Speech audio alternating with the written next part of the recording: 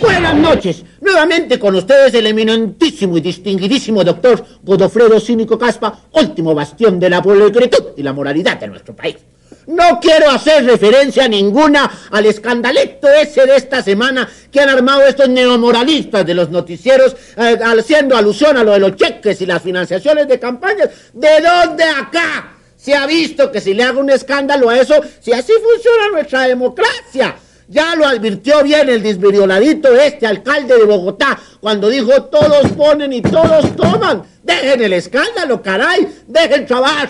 Más bien voy a hacer alusión a un tema que por estos días se ventila en el honorable Congreso de la República y hago referencia al Ministerio de la Cultura. No sé de dónde acá la primera dama le dio el antojo, bueno, no solo a la primera dama, a las primeras damas, a doña Fania, a doña Gloria, a doña Amparo Sinesterra y a doña Hacking, les dio el antojo del Ministerio de la Cultura. Mis queridas señoras, por Dios, ¿qué es esto? ¿Para dónde vamos? ¿De qué sirve, les pregunto yo a ustedes cuatro, de qué sirve un campesino bailarín?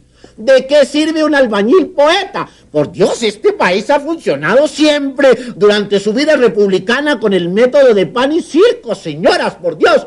Cojan oficio, ala. Dejen la cursilería, señoras, por Dios. Además, sin presupuesto, un ministerio ni da votos, ni da puestos, ni da cargos, señoras, por Dios. Dejen trabajar y que viva la cultura para los puyanas y los boteros. Bueno.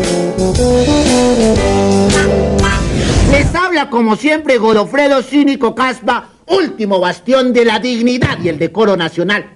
Se debate por estos días en el Honorable Congreso de la República, dice la obligatoriedad del voto. ¿De dónde acá nuestros gobernantes quieren popularizar un derecho, un derecho y un privilegio de la gente de bien? No entiendo por qué no vuelven a las fuentes de la democracia y a los ríos de la tradición y consultan las constituciones del siglo XIX cuando recordaban que quienes teníamos el derecho al voto éramos nadie más ni nada menos que los varones mayores de 35 años, casados con renta superior a 1.500 pesos y que demostrásemos actos de inteligencia. ¿De dónde acá las mujeres pueden votar? Que dejen en paz las urnas y vuelvan a la cocina. No hay derecho ni que los comunistas ni que los opositores voten. ¿De dónde acá eso, ala? Seremos la gente de bien, quien elija a la gente de bien. Seremos pocos, es evidente, pero con dignidad y sin déresis elegiremos a nuestros gobernantes. Álvaro y yo terminaremos eligiendo el presidente del 98. ¡Qué carajo! Buenas noches.